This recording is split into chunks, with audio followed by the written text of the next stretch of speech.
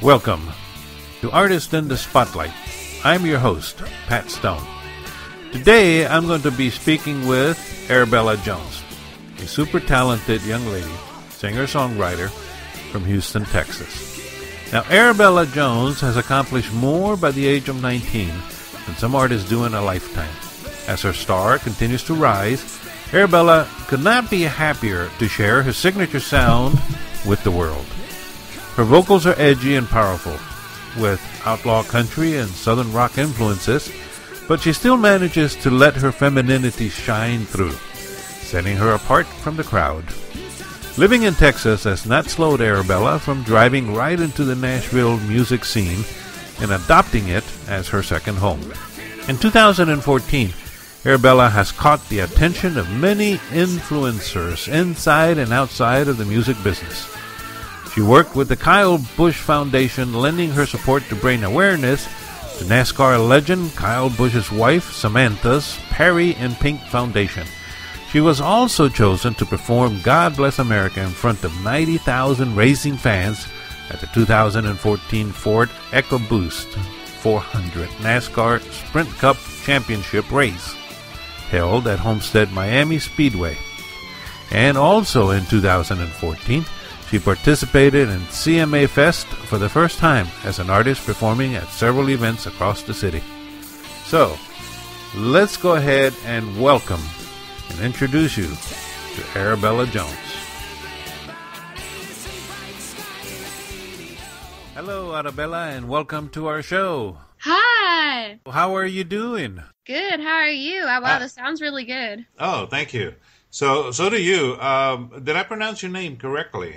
It's Arabella, but Ara- okay. yeah, close enough. I hear every kind of form of my name. well, you know, being from Houston, I was born in Houston, by the way. oh wow. And yeah, so there's a lot of Spanish speaking there, and uh, so that's why you, Arabella has got that Spanish accent that I put in there. Yeah. But it's Arabella. it is. Maybe when I feel like being a little more exotic, I'll tell people it's Arabella. That that's pretty cool. that I like how that rolls off my tongue. Uh, yeah, Arabella. It almost sounds like Italian, you know, Arabella. Yeah. Uh, Bella in Italian means beautiful, so. Yeah.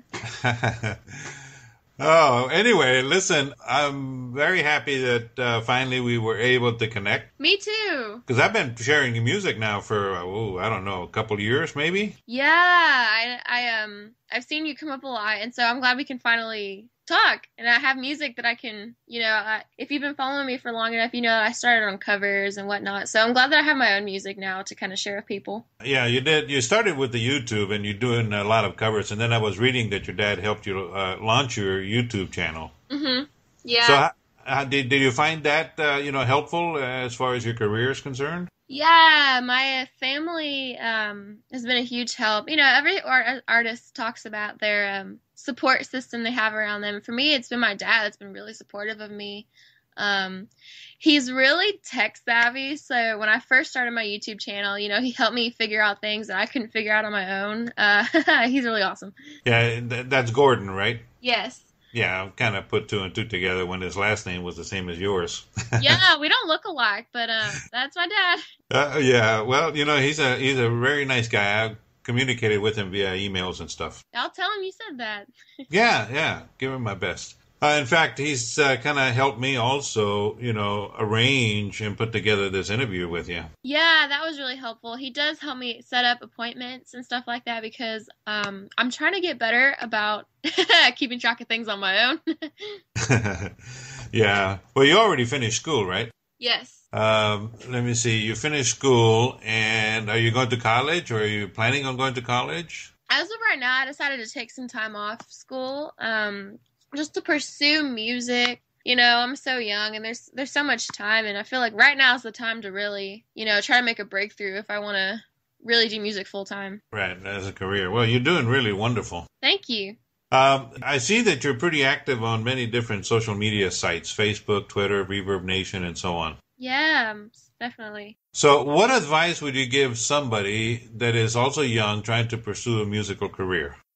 I would say drop out of school like I did.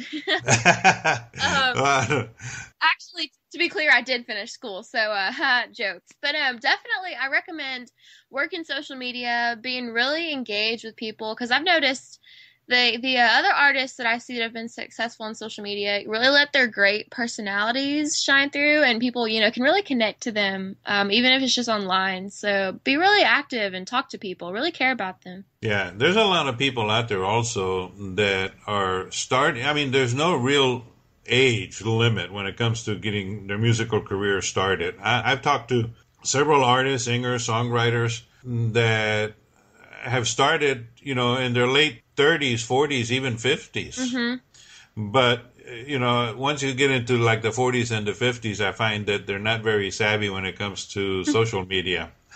yeah, that that can be the trend. Um, and also, I feel like it's it's easier to break through to a new audience when you're a little bit younger. But I mean, it definitely depends on your genre. I mean, I know people that are starting at like 12, you know, and it's it's kind of hard to break through when you're that young as well because you don't really know who you are yet. Um, you have to grow a little bit first, so you kind of have to find the happy medium. Right.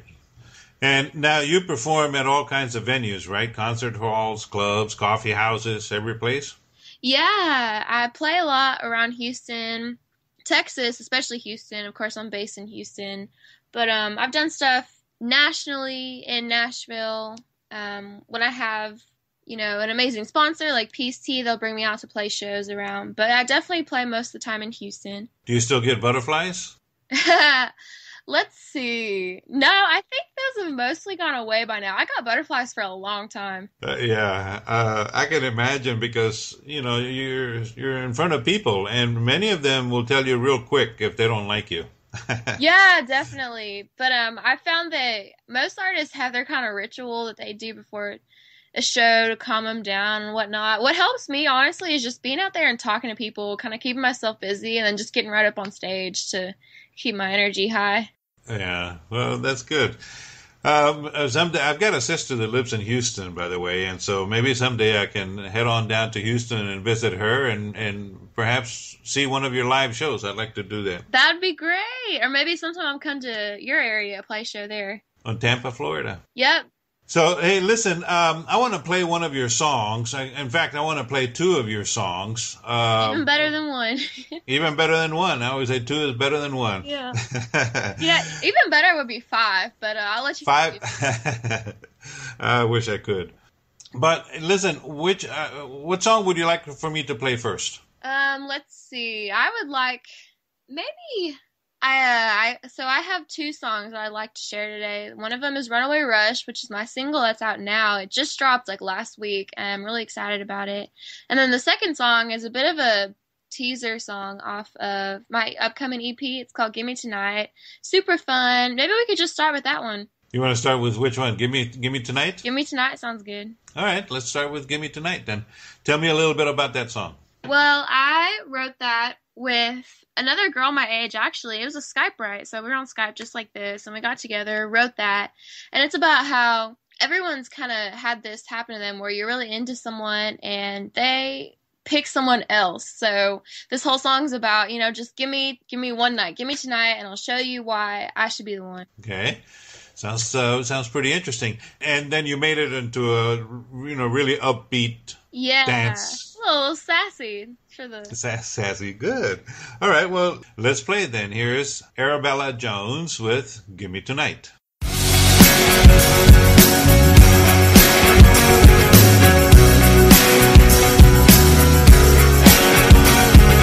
Finally Friday, high heels on, speakers bumping that cold folk song. A friend of a friend knows who's throwing down.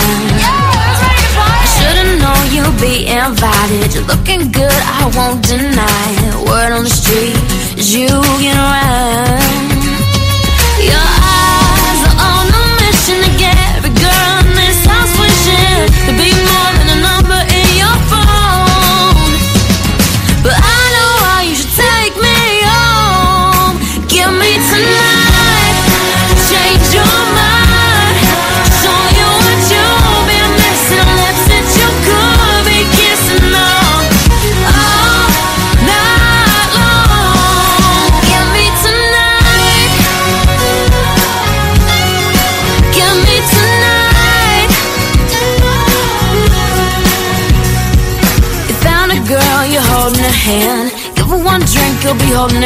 She'll stumble around.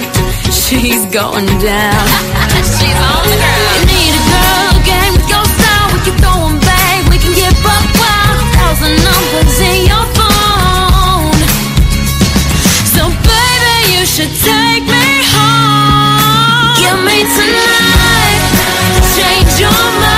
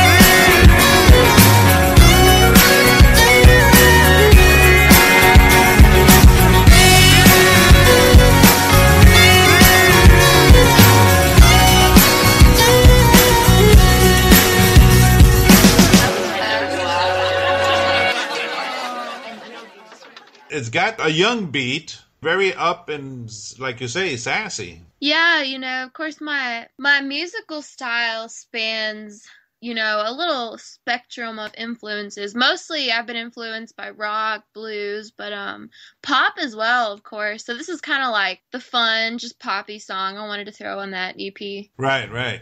Now, you said that EP is coming out when? It's coming out August 11th currently. Actually, you know what? I don't know. I take that back. I don't know if I can be specific on announcing the date yet because it hasn't been officially announced. So I'll say, you know what? It's coming out early August. Well, you make sure that you let us know when, and then we'll put the word out for you. Okay, awesome. so, what are you working on right now besides uh, putting together the EP? Well, I am recording the last song of the EP right now, and then I'm actually going to be starting um, a Kickstarter in the next few weeks. So, Oh, yeah, I'm really excited. Gonna raise some help, uh, try to raise some money to finish the EP, do some radio promotion, do music videos, all that really awesome stuff. wow, okay. Yeah, I'm excited to share that with people. So now this Kickstarter, have you, it hasn't begun yet, right? Yeah, the Kickstarter will start on around June 28th. Oh, okay. It will start on June 28th. Yeah, end of June. Yeah. Okay. And so to people, how can people go and contribute and, you know, to support you, um, you know, through this Kickstarter? Do they go to your website? Where, where would they go? Yeah, I'll be posting a link everywhere, of course. Um, it'll be on my website. I'll tweet it, Facebook it. Um, lots of people that just kind of hang out on Kickstarter will find projects to support, even if they haven't heard of me. So that's cool too. But yeah, you can go to this Kickstarter page and then you can contribute to the project. And then based on the level you contribute to, you will receive different rewards. And like I said, there's lots of cool stuff like t-shirts. Um, if you contribute high enough, there's stuff like a private acoustic concert. It's really cool stuff. How much are you trying to raise? I'm trying to raise about ten to fifteen thousand dollars. Okay, and that will help you with the to complete all the music uh, for your EP as well as music videos and other things. Yes, radio promotion, all that kind of stuff. Um, Right. Lots of people don't realize, you know, songs don't just necessarily jump on the radio. You know, you have to promote them, maybe radio tour, go around to radio stations and play for them, all kinds of stuff behind the scenes. Right. Well, uh, yeah, we're going to be staying in touch uh, through Twitter and through Facebook and through other other places. Uh, but also, feel free to you know email me or you know just let me know how things are going and if